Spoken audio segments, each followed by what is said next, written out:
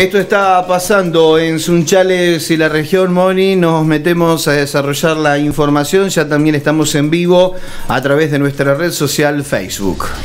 Mira, iba a empezar con otra pregunta, iba a saludarlo de otra manera, pero acabo de encontrar un título que la verdad nos convoca a todos y mm, me parece que políticamente te lo puedo consultar. Está con nosotros Adrián Sola, Juancho, Juan, em, presidente de Comuna de Tacural, en cualquier momento intendente. ¿Cuántos habitantes? Buenos días, gracias por venir.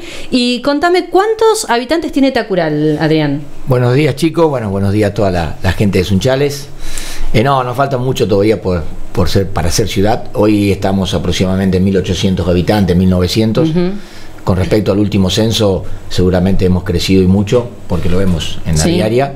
Eh, mucha gente de Sunchales que está acercándose a Tacural, comprando su lote y bueno, empezando a construir, construir su vivienda. Hay mucha gente que uno ve que va y viene todos los días. Eh, son 13 minutos, 15 minutos, como una exageración. La verdad es que nos tenemos que empezar a acostumbrar porque tanto Aldao, Ataliba, Tacural son localidades donde están residiendo muchos eh, sunchalenses, donde han buscado un lugar donde vivir. Gran tema el nuestro en Sunchales. Tenemos muchos lotes, pero eh, a un costo prácticamente inaccesible para la clase media, si queremos ponerle un, un estándar, ¿sí? Un costo. Eh, sí, Juan, buen día, Gustavo te saluda. Ya que estamos, no iba a participar prácticamente de la entrevista, pero Mónica me da pie para preguntarte, ¿cuánto puede valer un lote, por ejemplo, de 10 por 20, 10 por 30? ¿Cuáles son las medidas estándares ahí en, Tacural? Bueno, bien lo dijiste vos, Gustavo. Eh, se ha acercado mucha gente. Hoy somos un pueblo satélite, un barrio satélite de la ciudad de Sunchales, le dijiste bien Aldao y Ataliba. Eh, cuando nosotros estábamos valuando los lotes hace cinco años atrás, era risorio, hasta había gente que te lo daba para pagar los impuestos y hoy ha tomado una cierta eh, cotización. Hoy un lote sobre pavimento, te doy un ejemplo, de nosotros las medidas mínimas son de 12 metros de frente por 25 metros de, de fondo, siempre que se contemple 270 metros cuadrados, estamos hablando alrededor peso más, peso menos, entre los 900 y, los, y el millón 200, que hace un par de años atrás, eh, con 200, 300 mil pesos los conseguías eh, al valor actual, pero bueno, eh, esta, esta necesidad que lleva a que la gente se acerque a Tatacural, y esto lo digo no porque la comuna esté ofreciendo lotes, todo por lo contrario, hoy la comuna está por lotear tres, tres terrenos grandes que bueno van a tener una cierta eh, ordenanza que lo va a estar limitando para, para habitantes de Tacural, por supuesto. Eso no quita que pueda venir gente de Sunchales porque depende de la oferta y la demanda, pero lo que era la parte particular se está vendiendo más o menos en, eso, en esos costos. ¿Respondí a tu pregunta? Sí, claro. ¿Viste? Un tema, ese es el problema cuando hay gente que está trabajando continuamente y con la que podemos ampliar. nunca sabemos por dónde vamos a empezar con las entrevistas. Mi, mm, mi inicio de la entrevista era, Adrián, el, título de, Radio Belgrano Suardi. Enviaron a la legislatura el proyecto para implementar el voto joven. Esto lo venía ya mencionando Omar Perotti, el gobernador, el derecho a votar en elecciones provinciales a los jóvenes de entre 16 y 18 años, pero va a llevar un tiempo. Esto no va a estar para estas, para estas elecciones. No, no, no. ¿Qué es lo que espera el gobernador? Que para el 2023 sí podamos implementar. A ver, era una de las cosas, bien lo dijiste vos, Mónica, era una de las cosas que eh, Omar Perotti eh, en esas charlas eh, lo venía propulsando a nivel nacional, ya está impuesto por ley, por supuesto. Lo mismo que el, cambio del periodo de gobierno de las comunas de dos a cuatro años. Hay muchas cosas que están en, en carpeta. Eh, algunas seguramente eh, están contempladas dentro de un cambio de la Constitución, porque lo sabemos, han intentado eh, ambas cámaras poder promulgar algunas leyes, pero bueno, la Constitución en eso es imposible, como en el caso de las comunas, esto acá de dos a cuatro años, se está impulsando en ambas cámaras o se va a impulsar ojalá llegue a buen puerto y esto de los jóvenes me parece algo importante porque no podemos estar descolgados de la nación. Después discutamos si está bien o está mal. Para algunas cosas se puede votar y por otras cosas no podés. Eso es discutible, pero me parece que no podemos venir en contramano de una ley nacional cuando la gente se confunde porque dice, che, te llaman, yo tengo que ir a votar este año, no tengo que ir a votar. Eh, para la comuna no puedo votar y puedo votar para la nación. Bueno, estas cuestiones creo que me parece en cualquier país serio deberíamos tener la misma tesitura para, para, para estas cosas. Sí, además convengamos que el gobierno provincial viene trabajando mucho en lo que es los jóvenes. De hecho, el gobierno anterior también con Miguel Lifchi se había abocado a los jóvenes. Hay un gran cúmulo de votos, un nicho de votos muy importante ahí. Por ende, no podemos descartar la parte política por la cual también se hace todo esto, Adrián. La mirada de Omar Perotti de un principio, él lo dijo que quería estar rodeado de jóvenes. Y esto lo digo en en, eh, eh, hoy con, en esas reuniones privadas. Él está armando grupos de trabajo de muchos jóvenes, eh, por supuesto capacitados, más allá de lo que vos decís, seguro hay un caudal de voto importante, pero él dice que hay que darle una impronta porque, bueno, por supuesto que la experiencia es la que vale, las personas que hace muchos años que estamos en política sirve, pero me parece que hoy el tiempo ha cambiado, hoy va todo por otro lado y los jóvenes le ponen su impronta. Yo, en caso particular, en Tacural, bueno, en estas próximas elecciones tengo un 45-50% de jóvenes, porque no me creo viejo, pero me parece que hay que darle esta mirada, hay que darle esta participación a los chicos, a los jóvenes, porque reitero, ha cambiado en el día a día, la pandemia esta nos ha llevado a reflexionar en muchas cosas. Y bueno, la mirada del joven, eh, empecemos por una comuna, eh, nosotros lo estamos viendo día a día, así que me parece que es una iniciativa importante para tener en cuenta, ojalá, ojalá la legislatura, tanto la Cámara de Diputados como la Cámara de Senadores lo puedan aprobar. Y esperemos que en el 2023 esto casi sea ley. Sí, de hecho, para quienes conocemos un poquitito del paño y para quienes no tenemos contacto con el gobierno provincial, si bien todos los ministerios están encabezados por personas grandes, por personas mayores, eh, cuando uno hace contacto buscando información, el, común denominador eh, o el, el rango etario es entre 28 35 años de todo lo que son secretarios, prensa, eh, y la información viene desde, desde esa edad. ¿sí? Adrián, bueno, eh, contabas que para las próximas elecciones te parás con gente joven, pero con proyectos que traes desde hace mucho tiempo, gente que te acompañe a concluir con ellos. Em, y mi pregunta es, venimos trabajando en lo que es el centro de salud, se trabaja mucho, es algo con lo que venís con mucho ahínco trabajando durante estos años. ¿Cuánto le está faltando a esto? Nada. Em, justamente ayer o antes de ayer me hicieron un, también otro medio de prensa eh, estas clases de preguntas, cuál era eh, mi obra emblemática o la que yo siempre soñé y dije que era el centro de salud. ¿Y por qué lo digo? No es quizás por la inversión, porque si lo comparamos con cloacas, eh, hoy Cloacas estamos hablando de 171 millones contra 6 millones de pesos que es el presupuesto del Centro Salud.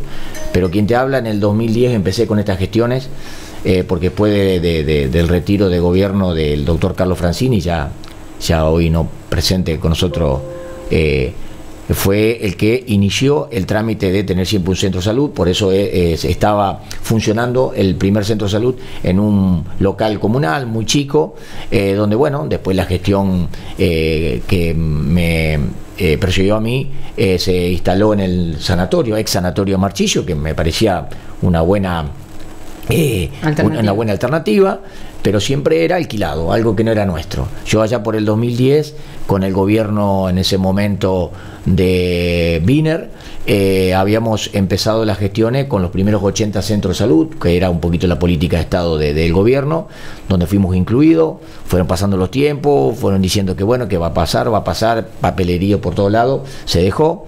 La gestión anterior a la mía en el gobierno local, la verdad que no profundizó, no profundizó este tema. Volvimos a la carga allá por el 2017, eh, perdón, por el 2015, eh, también, tampoco tuvimos éxito. Bueno, en una de las, de las recorridas con, con Omar Perotti en plena campaña, me dijo que si él, eh, que cuál era mi, mi, mi meta, si yo era gobierno y él era gobierno, le dije que eran tres, era la construcción del nuevo centro de salud, vivienda Fonavi para, para Tacural y eh, lo que era eh, el mejorado de caminos en, en, la parte rural. Bueno, creo que se están cumpliendo uno por uno. Vos me decías cuánto falta para terminar. Hoy pasé, porque es como cuando vos ves eh, crecer a un bebé, todos los días estoy recorriendo lo podíamos haber estado inaugurando con, eh, con la llegada del gobernador en Vila, pero nos parecía que faltaban algunos detalles, en eso soy bastante quisquilloso. Entonces, bueno, dijimos que era para la próxima oportunidad que venga el gobernador a cortar la cinta porque ese fue su deseo. Hoy están colocando las últimas baldosas de afuera, que era algo que lo complementamos. Ya tenemos instalado el consultorio odontológico, que no, algo que no existía en Tacural porque tenían que viajar hasta el hospital de Sunchales. Ya tenemos asignado el cargo odontológico, ya tenemos asignado el cargo de enfermería que lo veníamos nosotros abonando de hace muchísimos años, así que estamos más que contentos. Reitero, mm, antes de fin de mes yo creo que ya estaría todo, todo listo, pero bueno, queremos darle el marco de que, se merece de poder tener una inauguración acorde a las necesidades. Sin duda, me, hablabas recién dentro de las propuestas que hacías, de lo que te preguntaba el gobernador, cuáles eran tus anhelos, y sabes que me voy a referir a algo político porque se vienen dando Santa Fe ha sido noticia en esto de, las, de, las listas como se han armado. Eh, Agustín Rossi por un lado, Perotti por el otro, Rodenas con Rossi. Eh, Perotti queda, eh, sigue por otro lado con su lista, presentándose en la foto, estando en la foto y estando en la lista diciendo que él está porque, porque apoya a su gente, porque quiere que lo vean con su gente y para que sepan que es su lista.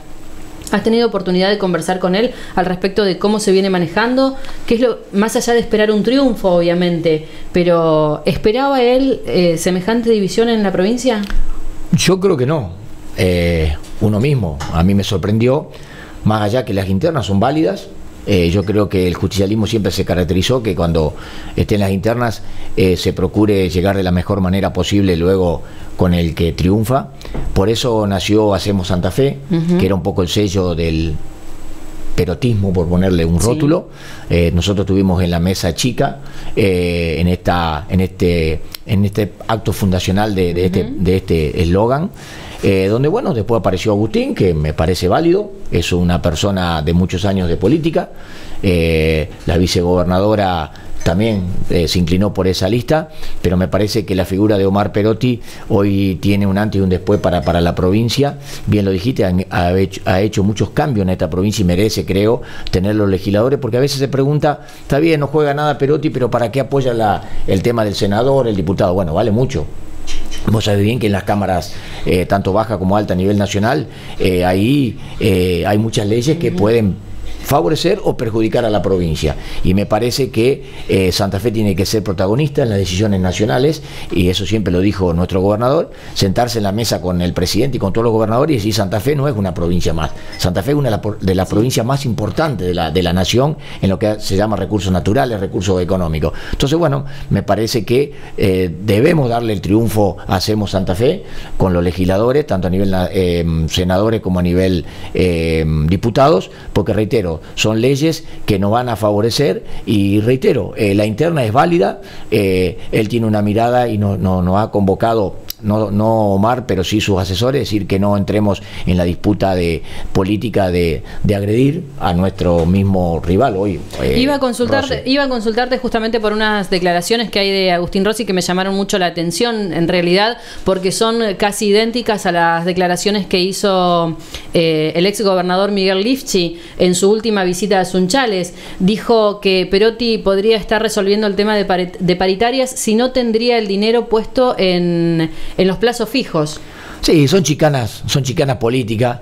En las paritarias, hoy nosotros tenemos, eh, quien te habla, hoy hay un paro del SUEN, y yo creo que esto se va, se va a discutir y después se va eh, se va a arreglar. Eh, a ver, en los primeros meses de Omar Perotti también se le ha pegado en el tema de maestros, en el tema de los jubilados. Bueno, hoy los maestros cobraron el, uno de los primeros días hábiles, los jubilados están cobrando los primeros días hábiles. Me parece que, está dando respuesta con hechos. Eh, yo creo que, bueno, Agustín tendrá su manera de hacer las cosas, de decir estas cuestiones. Las paritarias yo creo que se, se abrieron, se van a estar discutiendo. más allá del plazo fijo, ¿no? Las obras se ven encaminadas. Hoy los 300 65 localidades que tiene la provincia, vos vas a recorrer cualquier pueblo, cualquier ciudad, hay una obra con, el, con el cartel de, la provincia y no con el cartel, por decir, ponemos el cartel y no está la obra. No, primero se empieza la obra, después se pone el cartel, doy fe en eso porque lo estoy haciendo en mi localidad, así que se ha eh, eh, lo que era obra menores, que era algo muy discutible, que era ley. Eh, a ver, en gobiernos anteriores, al ser ley, vos te lo tienen que dar el dinero porque es ley, es obligación. Bueno, nosotros nos llegaba el dinero al año y medio, dos años, cuando ya estaba todo desfasado, y hoy por hoy cualquiera sea el, tinte político que tenga las comunas, las municipalidades, están llegando con tiempo y forma con esos recursos. Sí, se vienen trabajando y se vienen trabajando con estos recursos. Yo siempre digo y recalco lo mismo. Me parece que Omar Perotti tiene una mirada empresarial que llama mucho la atención, que gusta, o por lo menos a quienes eh, lo seguimos y lo seguimos en Sunchales, porque el sunchalense en general viene prestando atención a esto. Omar Perotti, todo lo que inaugura tiene por lo general una connotación de seguir generando ¿sí? Porque esa mirada empresarial se lo permite. Personalmente es, eh, es de lo que más rescato de Omar Perotti. Eh, obra que se licita, obra que se empieza, obra que se termina. Ese es el eslogan. Yo quisiera preguntarle, y no, no quiero entrar en la interna de Rossi o de darle el nombre y apellido, de muchos de aquellos que están en Santa Fe, en Rosario. Entonces hoy muchos nos preguntan, che, ¿por qué a Tacurá le llega esto? ¿Por qué a fulano le llega tanto? es la equidad, es el equilibrio. La provincia de Santa Fe hay pueblos, hay ciudades, los recursos que salen de Tacural seguramente llegan, llegaban un porcentaje mínimo a, lo que es las obras, hoy está llegando lo que nos corresponde. Así que me parece que aquellos que están en Rosario Santa Fe tendrían que caminar un poquito más del interior del interior. Hay muchos hoy que se postulan de diputados y senadores y no tienen, disculpame la vulgaridad, la puta idea de lo que es un pueblo, lo que es un camino de tierra, lo que es un ripio, lo que es un cordón cuneta. Hablan por que hay muchos parques en Rosario, que lo merece, muchos parques en Santa Fe, que lo merece, pero a ver, nosotros acá tenemos una explotación agropecuaria enorme, tambera enorme, de carnes enorme, y nosotros hoy nos están llegando las obras que quizás años atrás no llegaba y con recursos genuinos, recursos propios que nosotros generamos dentro de la comuna, ¿qué podríamos hacer? Barrido, limpieza y podemos tener algo de iluminación. Bueno, hoy están llegando estas obras emblemáticas. Sabes que Adrián, me mm, eh, sigo hablando de, la parte política porque Sunchales también está en una interna importante, hay muchos candidatos, hay muchas listas, eh, hay mucho trabajo para hacer y en esto que acabas de mencionar, me tengo que referir a que hay mucha obra, mucha obra parada, mucha, mucho dinero que se podría utilizar, mucha, mucho impuesto que paga el sunchalense y que podría volver a la ciudad. La pregunta es, ¿crees que no está llegando porque la gestión provincial actualmente no tiene gente de confianza, por ejemplo, en el Consejo?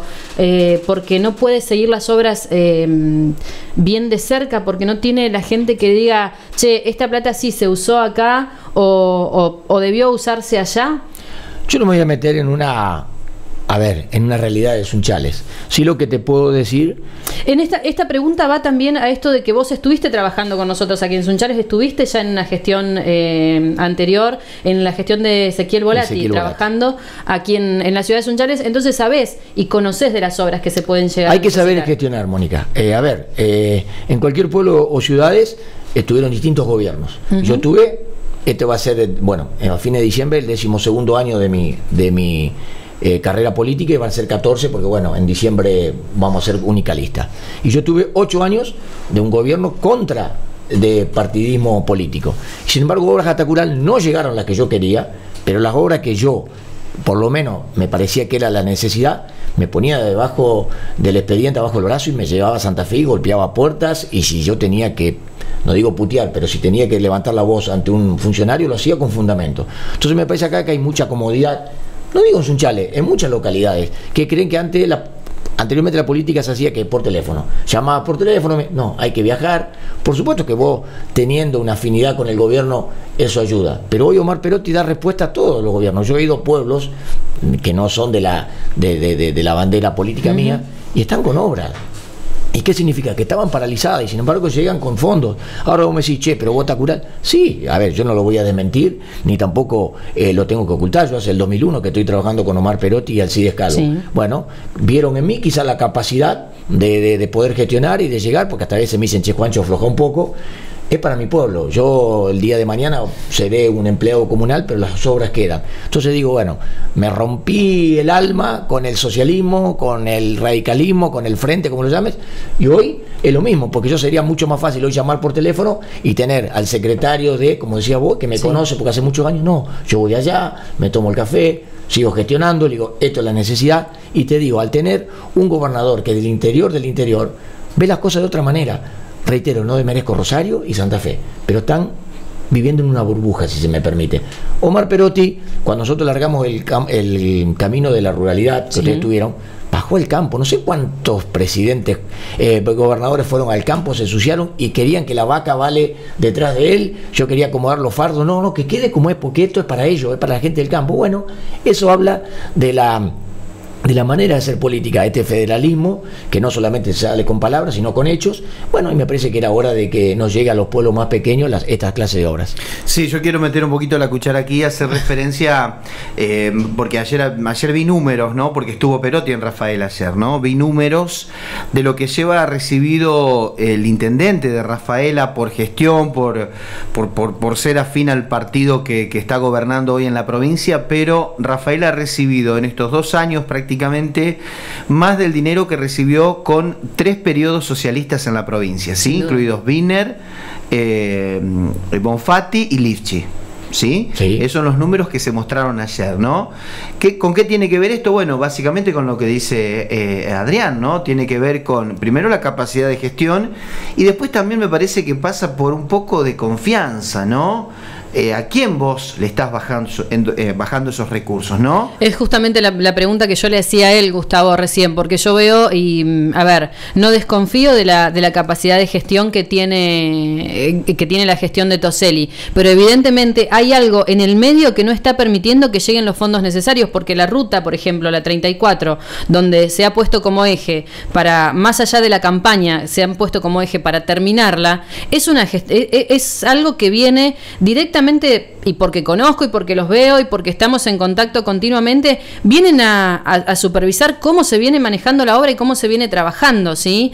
Con su gente. Entonces digo, evidentemente hay, hay ahí en el medio algo que la gestión Toseli no está logrando.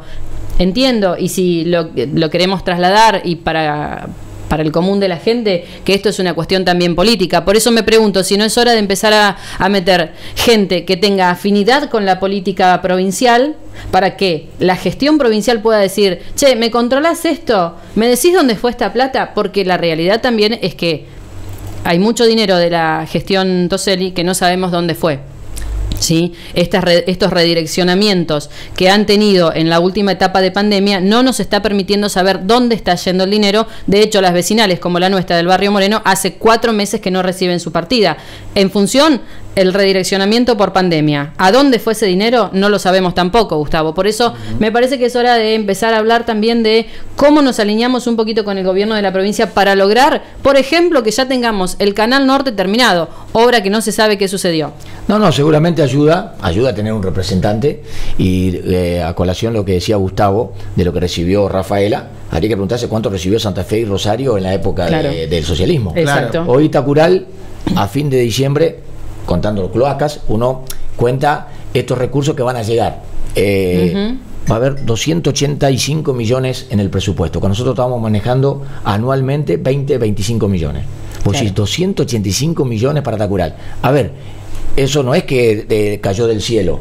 ¿Dónde iba ese dinero? Iba a otro lado, no es que se lo robó el gobierno socialista. no, lo quiero jugar, pero iba para otro lado, direccionar a otro lado. Bueno, yo creo que estas cuestiones, por eso hoy Ataliba va a tener cloacas, que era imposible, Ramona va a tener cloacas, Vila va a tener cloacas, Tacural va a tener cloacas, se están abriendo otro pueblo porque Aldao se está acoplando también para tener cloacas, eh, todas las localidades que quizás antes era imposible, vos decías, y ese dinero, y ese dinero estaba, nadie lo duda, que eh, lo malversaron los fondos, pero fueron para otros, eh, quizás prioridades para ellos. Esto es la manera de ver la política. Por eso reitero, Omar Perotti es federal, no solamente eh, en, lo, en lo discursivo, sino en los hechos. Bueno, entonces es hora de que nosotros nos llegue este dinero. Quizás vos me decís, sí, el campo, que nosotros, por lo menos es lo que prevalece en la economía, aporta mucho. Claro que aporta mucho. Por eso cuando hicimos lo del camino de la ruralidad y que lleguen 20 millones de pesos para la zona rural, hoy yo nosotros hicimos eh, una especie de triunvirato. Provincia, comuna y los productores que ellos mismos vean dónde van los recursos. Nosotros pusimos una cuenta aparte, tenemos toda una administración eh, aparte de lo que es comuna, para que vean que esos recursos se utilizan para eso. Y bueno, hoy dos o tres productores que se hicieron cargo de esto, porque vieron eh, la verdad que no la necesidad, sino un poco la responsabilidad que uno le había dado, están encantados. Dicen, mira, nosotros hubiésemos, si hubiésemos hecho de cero el tema del ripio, hoy estaríamos hablando de el 80% más de lo que le está saliendo al productor. Bueno, eso habla a la clara de lo que es el federalismo transparente y bien lo dijeron ustedes, teniendo un representante, quizás sea mejor, ¿por qué? Porque, bueno, lo conocen, el discursivo, mira, yo le puedo llamar por teléfono, esto no quita que Sunchal esté haciendo las cosas mal o bien, yo no me voy a meter en la interna, pero me parece que es hora que, bueno, que la gente hoy está con la posibilidad de tener un representante del gobierno en el Consejo, bueno, quizás le puedan llegar más obras para Sunchales. Adrián, hablas de obras, hablas de gestión, hablas de todo un poco. Yo entiendo todo el dinero que vas a recibir hasta fin de año, es una bocha de dinero, es muy bueno para Tacural, pero yo te conozco lo suficiente para saber que ya estás pensando cuál va a ser la próxima obra grande que vas a hacer en Tacural. Amén de todas estas que ya tenés mencionadas. Bueno, dos obras que mm, me quitan el sueño, por llamarlo así, es el ingreso Tacural, te lo hace falta que se lo diga, el nuevo ingreso Tacural, y esto no pasa por embellecer al pueblo, sino para evitar... Seguridad. Accidente, exacto, seguridad, que hace quien te habla, eh, si no mal recuerdo, hace del 2008-2009 que tengo el expediente y la carpeta bajo el brazo, han cambiado gobiernos, han cambiado secretario, han cambiado ministro. ¿Qué es lo que propone Adrián? Una rotonda, básicamente. Una rotonda, yo creo que hoy, hoy por hoy puedo dar fe que se va a hacer. Sí. Eh, porque bueno, hoy tengo, tengo un amigo que es Fabio Sánchez, que él conoce la realidad porque me ha acompañado en su momento cuando era colega mío. Estaba contemplado un puente, porque al ser eh, el día de mañana eh, va a ser autopista portacural, hoy a, a grosso modo un puente sale 950 millones de pesos, que era una locura. Bueno, hoy una especie de rotonda sale 380. Entonces, eh, por la cantidad, porque siempre hay que contemplar el ingreso y el egreso de Tacural, más allá del movimiento sur a norte que es la ruta 34, creo que con una rotonda o como se llame, podría solucionar estos problemas. Entonces, bueno, doy fe que Fabio está detrás de esto, me dijo quédate tranquilo que esto, antes que termine mi mandato, que él... Sí, de hecho en la última visita del gobernador él ya lo habían mencionado. Lo había mencionado, sí que se va a hacer. Y por otro lado, el gas. Eh, que bueno, nosotros en su momento cuando yo fui secretario de Obras Públicas aquí de Sunchales, cuando eh, tuvimos la visita del ex ministro de Infraestructura Julio Devido, bueno, esas cosas que me conoce, en, eh, caí en el lugar y en el momento justo cuando se estaba por firmar, Ezequiel Volati tengo que agradecerle porque me dio la oportunidad, bueno, hablé con el ex ministro y le dije que yo vivía en una localidad pequeña pero que era muy pujante, que era un barrio de Sunchales, que eran 8 kilómetros lo que nos separaba en línea recta, bueno, son esas cuestiones que eh, rompió el, convenio macro, agarró el, otro convenio, lo firmamos, después con el ingreso eh, del gobierno de Macri, algo que me entró la duda, nos llamaron desde la Nación, nos sentamos con el secretario de Energía, estaba Tacural contemplado, así que bueno, ahora se reactiva la obra porque llegó hasta Sunchale, lo que es el caño eh, maestro. Bueno, eso, eso para antes que siga Juan, ya que estamos, porque hay mucha gente escuchando. también fue muy rápido, ¿sí? Porque había certificados eh, impagos de la gestión de Macri por más de 20 millones de pesos en esa obra, en la obra de gas, y faltaba creo que el 14% para terminar, muy poquitito, le puedo agarrar ahí porque un punto más, punto menos. Yo recuerdo cuando vino Perotti a, traer el primer desembolso para la comisaría, ahí Calvo eh, nos eh, concedió una entrevista y anticipó que en el avión, en el viaje, cuando llegué de Rafael Asunchales, ellos vinieron en avión, Perotti le, dio instrucciones para acelerar el proceso bueno, de, de, pagar todo lo que se debía para que se reactive esa obra. Hace aproximadamente 10, 12 días 15 días. Bueno, con una ayuda de la Nación, la provincia de Santa Fe ya este, ha pagado sus certificados y en breve va a estar, eh, va a ser eh, el anuncio, por supuesto, y se va a terminar y de una vez por todas, bueno, Sunchales va a tener más capacidad de energía, en este caso del gas, y seguramente va a llegar este para Tacural. No, me voy a jactar de privilegiado, pero bueno, eh, yo lo sabía hace cosa de dos meses atrás de esta posibilidad, nada más que bueno, nos, nos prohibieron que digamos, porque hasta que, reitero, Omar Perotti lo que he hecho primero, después se empieza a hablar. Así que se lo sabíamos, nosotros tuvimos reunión con el senador Calvo, con la gente de Ataliba y con la gente de Bella Italia, que somos los tres pueblos involucrados en este, en este tramo, eh, con el representante del gas de Nación aquí en Santa Fe. Bueno, él mismo nos dijo que ya estaban pagados todos los certificados, que la obra en menos de 120 días iba a dar otra vuelta, otro giro importante. Nosotros, por supuesto, que eso no, no, no, no quiere decir que enseguida se traslade a Tacural. Tenemos una, una, circunstancia que, bueno, eh, tenemos que sortear, pero vio en el mapa, eh, porque hay otros pueblos que también estaban, a ver, Aldao, Humberto. bueno, no están, lamentablemente lo digo, no están dentro del convenio eh, marco. Entonces era como tienen que empezar de nuevo. Nosotros lo tenemos, así que bueno, esperemos que esto se reactive es una de las obras que yo te decía que el año que viene esperemos o antes del 2023 que yo me retire podamos estar eh, eh, contentos y decir bueno que Tacural tiene cloaca tiene gas agua potable hace muchos años y bueno somos una mini ciudad como lo dijiste vos ojalá ojalá esa palabra para para para, para, me acabas de decir no déjame que yo lo pregunte. Me acabas de decir cuando yo me retire vos no te vas a no te vas a retirar de la política te vas a retirar de Tacural supongo no amo la política vivo la política y me ha me ha, dado un, un salto de calidad como persona. Eh, soy un soldadito, como lo dije, eh, vos lo sabés bien, quien me conoce, he perdido las elecciones y empecé a barrer calles y a cortar con la moto Dania Pasto y he manejado la moto niveladora. Por supuesto que si me necesitan eh, en algún otro lugar, estaré a lo que me parezca a mí importante. Yo tengo una familia de por medio también, que en eso tengo que consultarlo, pero hoy estoy abocado a mi querido pueblo porque muchos han hablado que yo ya no me iba más a postular, que me iba para arriba porque soy amigo de Perotti. No, no, yo sigo para mi pueblo, voy a, poder, si puedo concretar junto a mi grupo de trabajo, eh, que es la comisión comunal que me apoya desinteresadamente, pero bárbaro, porque este loco viaja a 2000 y a veces me ponen un, freno. Eh, uno quisiera que siga con estas políticas y si yo algún día puedo pegar el salto de calidad, lo voy a hacer primero para mi pueblo, porque amo mi pueblo, para mí es el mejor pueblo del departamento castellano. Eh, y por supuesto que eh, ojalá quisiera y que deseo que haya algún joven o, que le parezca a mi manera de pensar y de hacer política, de estar en Tacural. Pero reitero, yo hoy estoy formando un grupo soy la cara visible, pero reitero, tengo muchos jóvenes que después, en un tiempo más adelante, voy a presentar la lista y muchos de los tacuralenses ya están sorprendidos porque dicen, che, fulano entró, pero con Juancho bueno, acá no pasa por el partidismo. Eh, más allá que yo represento un partido mm, político, esto es un popurrí de ideas y lo que queremos es todo lo mejor para Tacural. Bueno, yo le quiero hacer la última pregunta, Moni, pues ya se hizo muy largo esto, pero como vos sos el presidente del Partido Justicialista del Departamento. Exacto. 8 de octubre si eh, se inaugura la autovía o no, la, el tramo Sunchales, ¿es esa la fecha? ¿Viene eh, Alberto Fernández? ¿No viene? Esa es la fecha ¿Quién viene? ¿Quién estimada, Es la fecha estimada, por lo que veo se está trabajando a full, no están parando. Esperemos, eh, a ver, quien transita la 34, hasta Susana ya está todo terminado. la idea era en su momento llegar hasta Taliba, yo creo que no se va a llegar. Sí, hasta Susana creo que ya eso prácticamente se va a hacer. La zona urbana de Sunchales, o llamada zona travesía urbana, está muy adelantada, esperemos que esto acá se pueda. Y bueno, me parece que es una obra que va a cambiar eh, no solamente a Sunchales o a la, a la que lo atraviesa, sino a toda una región. Muchas gracias por la visita. No, gracias a ustedes como siempre y bueno, eh, ya saben dónde encontrarme y voy a estar gentilmente visitándolo porque me siento muy cómodo. Ah, la pregunta que yo hacía antes de empezar la, la nota, ¿sabés hacer asados? Espectacular, es lo que me apasiona. Se viene un viernes de asados entonces. no hay problema.